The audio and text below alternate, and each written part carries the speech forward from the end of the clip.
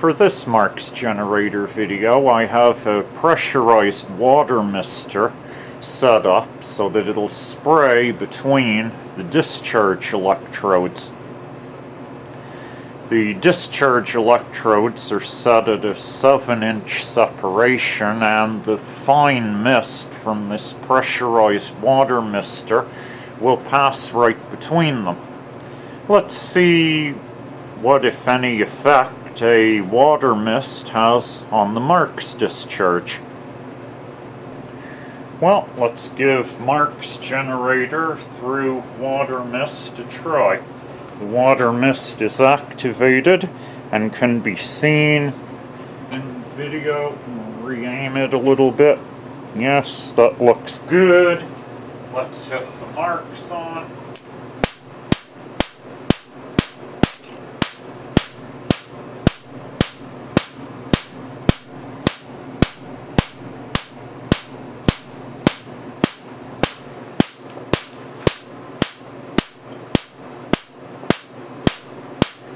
Lower the room lighting.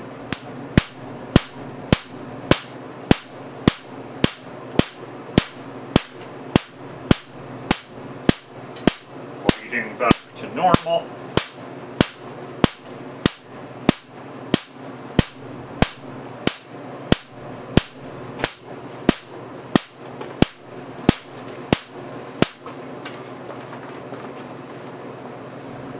The Marx discharge looked pretty ordinary through the plain water mist, so I had an idea that maybe I should try adding a bunch of salt into the water to make it a bit more conductive, and also see if we get any uh, yellow tint at all from the sodium.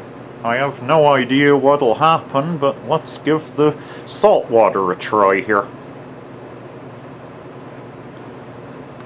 Here I've got the same setup as before, same 7 inch discharge electrode separation, but there's now a strong saltwater solution inside the uh, pressurized mister.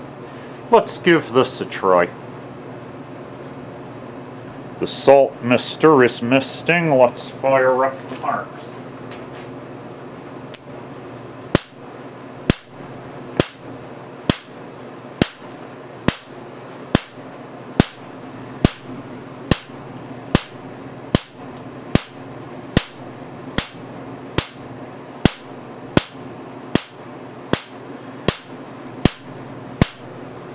Adding the salt doesn't seem to have had any great effect on things.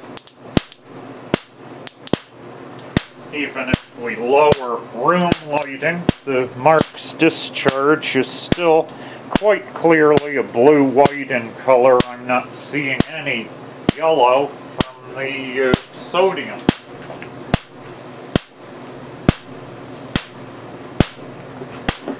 We are, however, getting some leakage into the workbench at the bottom. So, power down.